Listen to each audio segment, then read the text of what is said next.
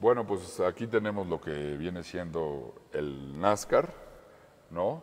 Este, este es un motor, este, se llama 350, es un motor Chevrolet de 500 caballos, ¿no? Con carburador y pues bueno, este viene siendo lo que es el NASCAR. Les voy a platicar un poquito qué viene siendo lo que, lo que trae adentro. Este, si gustan acercarse, aquí tenemos, bueno, esta es la batería, ¿no? Que realmente a la hora de la carrera no, no, la batería es solo para arrancar el coche, ¿no? Bueno, aquí está la presión del aceite, ¿no? Que es, es importante, pero la más importante viene siendo esta que está aquí, que es la presión de agua, ¿no?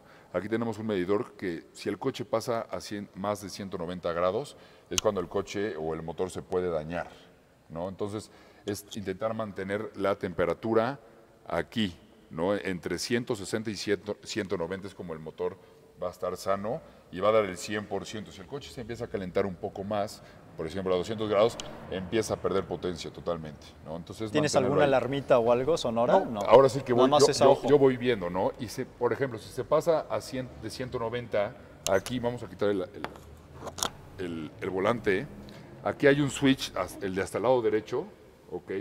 Que es el, es, este, el ventilador, ¿no? Tú prendes el ventilador y pues es un ventilador que trae el motor para que se vaya enfriando el coche, ¿no? Entonces, pero lo ideal es tenerlo apagado a todo momento en, el tema de la carrera. Si es que porque te quita un poquito sí, te quita, te quita energía y te quita, o sea, se puede apagar, ¿no? O sea, se puede acabar la pila, no sé, ¿no? Entonces es con, con, el puro aire. lo necesitas, ya le das a la, hora, más. a la hora que vas a 260 kilómetros por hora con el puro aire se va enfriando el motor. Ok, sí. Pero esto es como un extra, ¿no? Le entran bocanadas de aire sin problema a esa velocidad, ¿no? En las banderas amarillas, que suelen ver muchas banderas amarillas, con las banderas amarillas, para que entremos en contexto, es cuando hay un accidente, tienen que limpiar el desastre que dejaron. Entonces, nosotros velocidad. reducimos velocidad, nos formamos como vayamos este, en la, carrera. Y ahí sí, ahí sí tengo que prender el ventilador porque pues, ya no entra aire al coche, entonces prendemos el ventilador para que no se, no se caliente el motor, ¿no? O sea, luego, en el dash qué, qué, traes principalmente? ¿Perdón? ¿En el dash qué es lo que te marca? Bueno, prácticamente, no me lo van a creer, pero no hay velocímetro, solo son las revoluciones. Las revoluciones. Revoluciones que procuro este, cambiar en 6.500 revoluciones, 7.000 ya como máximo. Siempre esas son, este, ya un poquito más, pues vas a forzar un poco el motor, ¿no? De repente para rebasar puedes meter un primerazo para tener un poquito más de torque y te dé para alcanzar en de enfrente, ¿no? Pero normalmente nunca utilizamos la primera velocidad, solo son 3, 4, este, la tercera y la cuarta. Siempre, y, bueno, segunda, tercera y cuarta. Y la caja, ¿no? Si, si gustan acercarse, esta palanca que está aquí prácticamente es una caja de H, ¿no? Son el pomo se ve normalito, ¿no? ¿Perdón? El pomo se ve como muy normal, sí, pero... así es, pero realmente es una caja de H, primera, segunda, tercera y cuarta y se acabó. Ok. ¿No? no hay mucha ciencia. Tiene clutch, sí, solo para sacar el coche de primera, para sacarlo como cualquier coche, sí necesitas el clutch. Pero ya andando, no necesitas poner el clutch. O sea, sí, pero para no poner el clutch tienes que ir a altas velocidades. O sea, tienes que ir a. Y a la revolución exacta. la revolución, arriba de 6500, 6300, ya entra la, la, velocidad sin clutch. Entonces vas en primera, boom, y, mete, y metes la, la, caja, metes la velocidad y va a entrar. Si vas andando, no sé, en una bandera amarilla y tienes que cambiar de velocidad, tienes que poner el clutch y cambias, ¿no? Pero prácticamente ya andando. Así ¿cómo cabes ahí? Estás más bien encapsulado, ¿no? Digo, por tu tamaño. Es, es un tema que, pues ya, eso sí te voy a decir, ha sido, pues, acostumbrarse, ¿no? O sea, prácticamente acostumbrarse porque vas muy encapsulado, más el casco, más el traje. Por ejemplo, en Tuxtla estábamos hablando que dentro del autódromo estábamos a 42 grados y dentro del coche estamos hablando que 50 grados, ¿no? sí. Entonces, realmente sí tienes que concentrarte y, y, para que no te vayas distrayendo y diciendo qué calor, pues tienes que meterte al ritmo, ¿no? Y estar dándole. Y vas en lo tuyo, Vas en lo tuyo y se te olvida. Muchos preguntan, oye, si quieres ir al baño, ¿qué haces? Ahí. De último que te acuerdas es el baño, ¿no? O sea, ya que te bajas dices, ay, ya me dieron ganas de hacer del baño y ya vas, ¿no? la adrenalina controla Donde sucede un poquito más el tema del baño es en las carreras de resistencia, que son cuatro horas. Entonces ahí sí. Pero aquí en el NASCAR pues, son dos horas de carrera y, no, pues, te olvidas totalmente, ¿no? Bueno, es el asiento que ya nos dices que está adaptado pues, a tu tamaño, ¿no? Hay veces que incluso le tienen que poner un saliente, ¿no? A, la parte del toldo, en este caso no. En no este se caso ve, ¿no? No, no, se ve porque, también te llevas los, tubos, ¿no? Exacto, aquí tenemos lo que es la jaula, lo que le llaman, ¿no? Que es parte del chasis, y aquí en medio, pues todavía hay un espacio. Hay un margen. Donde yo ah, puedo, exacto, sí. donde yo puedo, pues voy perfectamente bien, ¿no? Y como pueden ver solo hay espejo del lado izquierdo, ¿ok? Sí. ¿Por qué? Porque realmente todos los autónomos son a la- hacia la izquierda, hacia la izquierda. Nunca vas a ver el lado derecho, entonces solo tenemos este, este espejito Pequeñito, por y cierto. se acabó, ¿no? O sea, realmente, y bueno, para eso tenemos lo que es el spotter, ¿no? El spotter es la persona con la que me va, me va comunicando, ¿no? Yo, yo como piloto no sé si hay alguna bandera amarilla, no sé si tal vez hay aceite regado en la pista, no sé si, no sé qué posición voy. Entonces, esta persona está en contacto con, la- con los directivos de NASCAR que les van Es informando, Pepe ¿no? Grillo, ¿no? Exactamente, ¿no? Le van diciendo, no, oye, una- hubo una bandera en la curva 2, entonces ya a mí me, avisa. Bandera amarilla en la curva 2, se baja a velocidad, ¿no? Entonces ya. Entonces él es, ahora sí que es el, el spotter es, es nuestros ojos fuera de la pista, ¿no? Es suma- sumamente importante, ¿no? Incluso luego va a estar metido que tal vez puede ir un coche atrás de ti que te está alcanzando, ¿no? Y, te, y ya te avisa, ¿no? Este, traes a un coche a dos coches. Eso se refiere a que Sí, hay un coche atrás de ti a dos coches de distancia, exactamente. Entonces, son muchas cosas, ¿no? Que uno va agarrando la onda a lo largo de las carreras, ¿no? Oye, es el spotter, los mecánicos, llevas un chef, un preparador, este, ¿cómo, cómo es esta parte de la vivencia? ¿Cuántos días van a una fecha? Pues mira, prácticamente por tema COVID ya se, eh, se redujeron a dos días nada más, ¿no? Lo que es sábado y domingo. Normalmente llego en la noche a la, a la ciudad donde vaya a hacer la carrera, llego en la noche y ya sábado prácticas y calificación y el domingo ya viene siendo la carrera. Anteriormente sí se manejaba viernes prácticas, sábado prácticas y calificación y domingo ya la carrera, ¿no? Y pues ahora sí que, ¿cómo, cómo movemos los coches? Pues tenemos un tráiler que está allá afuera, que es donde pues ahí tenemos una suite, así le llamamos, una suite donde están los pilotos, ¿no? mi papá, yo y todo. Incluso este, pues ahí, ya a la hora que se llega a instalar el, camión, sale una carpa, ¿no? Para que los muchachos no estén en el sol ahí arreglando el coche, se sale una carpa y hay una, ahí ponemos una cocineta y sí, efectivamente Hospitality, tenemos ¿no? un chef ahí que nos hace de comer, de desayunar, comer y si, incluso hasta cenar, ¿no? Hay veces que estamos en el autónomo hasta las 9 de la noche y pues ahí está el chef también, ¿no? Oye, y ya- eso es ya llegada a la carrera. ¿Y cómo te preparas físicamente? Pues físicamente, este, realmente sí hago, todos los días hago ejercicio, intento hacer cardio, este, intento este, pues estar en forma, ¿no? Porque, por ejemplo, los autódromos, ejemplo perfecto, como ahorita hace dos días, Tuxtla Gutiérrez es un autódromo muy corto, muy chico y te exige mucho, ¿no? Porque, por ejemplo, vamos a poner ejemplo, en Puebla, Puebla es un autódromo muy largo, como te comentaba, entonces en las rectas, quieras o no, pues descansas un poquito, ¿no? Sales a la recta, son recta de 20 segundos, vas andando, te puedes acomodar, porque pues ahora sí que traes el pie a fondo, entonces te dejas el pie a fondo, te acomodas, ¿no? Sacas la manita para que te entre tantito aire. Y en Tuxtla la, recta dura 10 segundos, entonces sales a la recta 10 segundos y te vuelves a meter, sales a la recta 10 segundos y te vuelves a meter, entonces ahí es mucho más constante de que no puedes descansar. Y en ese tipo de carreras es donde más, más se cansa uno, ¿no? Entonces sí tienes que estar preparado físicamente. ¿Y por qué? Digo, tú me dices, yo, yo digo, tú te puedes subir al coche y puedes acabar la carrera sin ningún problema, no puedes estar dentro del coche dos horas y lo vas a aguantar. Aquí la clave es no perder el ritmo, ¿sí me explico? Así tanto como la primera vuelta es importante, tanto la 190, ¿no? Todas las vueltas, todas las vueltas tienes que ser lo más constante posible, ¿no? Porque si tú bajas el ritmo, pues te empiezan a dejar y ya te olvidaste de la carrera, ¿no? Entonces, cada vuelta es sumamente importante, cada vuelta tienes que dar el 100% de ti, todo el tiempo, todo el tiempo, todo el tiempo. Y eso es el desgaste realmente, ¿no? Porque todo el mundo dice, oye, correr no es un deporte. Bueno, sí lo es, ¿no? Al final, cualquiera persona se puede subir a manejar y estar dentro del coche dos horas, pero ahora sí que mantenerse, ¿no? Todas las vueltas haciendo el mismo tiempo, todas, todas, todas, el coche se empieza a desgastar, las llantas se empiezan a desgastar, cada vuelta se va este, desgastando el coche, entonces es difícil mantener el coche a la misma línea, ¿no? Y frenar siempre en el mismo lugar, pues cuando, cuando ya el coche está desgastado y las llantas están desgastadas, si frenas en el mismo lugar te vas a ir a la fregada. ¿no? Los coches ya, ya no frena igual, los, los, frenos ya están calientes. ¿no?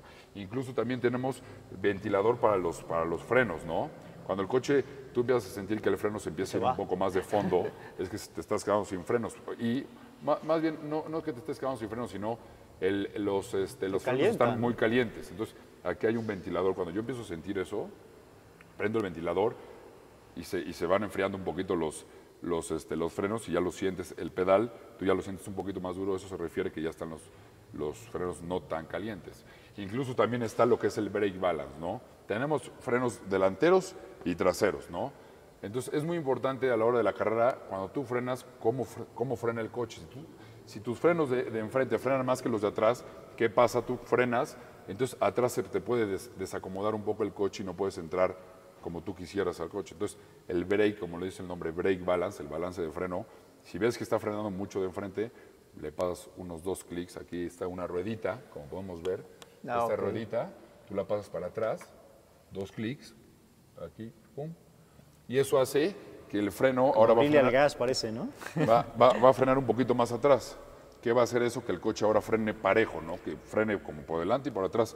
Eso te permite a ti, esto ya es muy técnico, ¿no? Pero te permite a ti parar muy bien el coche y meterlo. Es muy importante el tema de la transferencia de, pesos en, las carreras, ¿no? O sea, tú llegas a una curva y tienes todos los frenos para adelante y tú frenas, pues se te va a ir así el coche de atrás. Entonces, ¿cómo quieres entrar rápido si vas a entrar todo chueco? Tienes que frenar el coche, frena el coche en su totalidad, por delante y por atrás, y eso te permite irte a la gas lo más rápido posible para entrar acomodado. Y bueno, esas son las décimas que te dan el día, al final de la carrera y, es lo que te da el podio. ¿Cargan combustible en carrera? Cargamos, cargamos, combustible en carrera, no es como en las películas que... Este, como, más bien, no es como, como Fórmula 1, que entras y sales, ¿no? Aquí prácticamente a la hora sacan una bandera amarilla de competencia, todos bajamos la velocidad, todos entramos a pits prácticamente, todos cargamos, volvemos a salir y nos vuelven a lanzar. No, no, no es que cada quien entra por su lado. Ah, Así es. También un tema de seguridad, creo, ¿no? Sí, claro, también tema de seguridad. ha habido muchos accidentes, con la gasolina, sí. Y efectivamente tenemos, este, son unas mamilas así gigantes que tienen mucha presión, ¿no? Y pues aquí está el, tanque, ¿no? O sea, aquí ponen la, mamila, lo conectan y, el tanque se llena prácticamente, estamos hablando de 12 segundos se llena el tanque. 12 segundos. y vamos, sí, está súper a presión, entonces lo conectan, descarga ok, y pues listo, ¿no? Y ya estamos listos para... ¿Y este spoiler se lo modificas, este la configuración? este spoiler depende, este, el, autódromo, hay autódromos que son mucho de, hay unas bajadas, unas que bajan así, entonces mucho también depende del spoiler, ¿no? En, la forma para que te ayude a que la parte de atrás permanezca en, eh, en, el, en, el, suelo, ¿no? O sea, tú me vas modificando el spoiler, si hay mucho, mucho, este no sé, para arriba, hay muchos autónomos que, suben así, ¿no? o bajan, pues tú modificas el spoiler para que te dé la, tracción, lo tracción lo más posible que se pueda, ¿no? Aquí tenemos una, como una salida de... Esta es una salida de oxigenación de la gasolina, ¿no? Se tiene que ir oxigenando y esta es pues una salida que está medio fea, pero pues bueno, así es el diseño. no se busca que sea estética, sino Ahora sí que no, se busca que sea, es un coche profesional, sí realmente, muchos me dicen, oye, no lo has sacado a la calle, no puedes sacarlo a la calle. ¿no? Aquí está el escape, ¿no? Bueno, al menos no lo tienes de tu lado, ¿no? Sí, no, no, si no... No, no lo soportarías. No lo soportarías, o sea... Incluso, este, como dato curioso, lo que son las botas de, carreras son muy delgaditas, ¿no? Son muy delgaditas y en estos coches incluso como los frenos y las, más, más que nada el freno es de metal, por ejemplo en autódromos como Tuxtla, a otros como Monterrey, incluso Guadalajara, que hay épocas del año que hace un calorón y ponen la carrera en esa época, la bota, se, por ejemplo en Monterrey siempre que voy me pasa, la bota se vuelve chiclosa de abajo, ¿no? del calor que hace, porque tú estás pisando el freno con mucha presión y el freno pues es de metal y todo es de metal, entonces pues está realmente caliente el freno, ¿no? Entonces incluso hasta me salen ampollas en el pie de que vas pisando el freno, al final de la carrera te quitas y tienes ampollas y, tu bota prácticamente ya valió. Es duro el freno de por sí. Es muy duro el freno, es muy duro el freno, tiene que ser mucha presión. Lo hacen duro para que tú puedas calcular cuánto tú necesitas frenar. Me explico, si pusieran un freno como el de la calle, es muy suave, ¿no? O sea, tú, incluso si tú vas en el, en, el, en, este, en la calle y metes un frenón, pues se va a frenar el coche. Aquí no se frena así, ¿no? O sea, aquí para meter un frenón así tienes que meter un golpe y no va a frenar de madera, va, va, a frenar, pero mucho más lento, ¿no? Entonces son muchos factores que, que hacen que las carreras se vuelvan muy, muy divertidas, es mucha estrategia, es un equipo, ¿no? O sea, el piloto es una, una, sí es una parte importante, obviamente, del equipo, pero más que nada... La estrategia también que lleven. La, estrategia que lleven y pues el equipo, ¿no? O sea, yo conozco a muchos pilotos que son realmente buenos y, este, y cuando no tienen un coche, ¿qué me refiero a eso? Cuando no tienen un coche me refiero a que el coche pues no se siente bien, este, se va mucho de atrás, se va mucho de enfrente, algo trae el motor, pues aunque seas Michael Schumacher, no, no puede, ser, puedes que, puede ser que no seas competitivo, ¿no? Entonces, aquí entra mucho el, equipo, ¿no? Que te dejen un buen, un buen coche, que se sienta bien, que tú te sientas cómodo, que te sientas seguro para llegar a la frenada y frenar donde tú digas y, que, y meter Eso te va a dar confianza, ¿no? Y, y, que sientas que realmente se está agarrando el coche, ¿no? Imagínate que tienes un coche que, no sé, tiene algún problema en la, en la llanta o la suspensión está un poco chueca o se rompió alguna pieza y tú entras y se te mueve todo y dices, ¿cómo los los demás coches entran y, yo no puedo entrar porque se te mueve todo, ¿no? Entonces tienes que tener un coche seguro, ¿no? Para ser realmente veloz. ¿no? Que a mí me ha pasado muchas veces que hay veces que no se siente bien y no puedo ser rápido porque no puedo frenar en el mismo lugar que frenan los de Telmex, por así decir, que siempre son los que andan muy rápido, los de Telmex, ¿no? Entonces son muchos factores que conllevan ahora sí que las carreras sean muy interesantes, muy frustrante también, ¿no? Y muy divertido, ¿no? Es un tema, es, es realmente es este, una... Muy, muy padre. Y bueno, compartirlo con, con, mi papá y con mi hermano, pues realmente es una, es una chulada. Y, este, y pues sí, la adrenalina está al tope. Santos, pues muchísimas gracias por brindarnos un poco de tu tiempo, o mucho de tu tiempo, porque mira, ya se extendió la entrevista, pero pues muy agradecidos. Eh, pues para concluir, ¿dónde te ves en un futuro cercano en el tema del automovilismo? Pues mira, este, tengo 25 años, se sabe que ya 25 años en, el tema automotriz, o sea, no voy a llegar a la Fórmula 1, no, pero mi sueño, o sea, sí, sí pretendo quedarme en NASCAR, ¿no? Ser uno de los mejores en NASCAR, que la verdad hay muy buenos pilotos. Y pues el día de mañana podré correr en Europa con mi papá, con mi hermano, una carrera de resistencia. Hay muchas carreras como las 24 horas de Daytona, las 12 horas de Sebring, son muchas carreras que me encantaría correr, que incluso corren pilotos de Fórmula 1, ¿no? me encantaría algún día pues correr con ellos y pues este pues nada más, ¿no? Eso, eso sería todo y seguir aquí en México, ¿no? Pues sin duda hay mucho camino por recorrer. Te deseamos la mejor de las suertes, más que suerte, éxito en esta carrera que es tan complicada pero tan llena de pasión.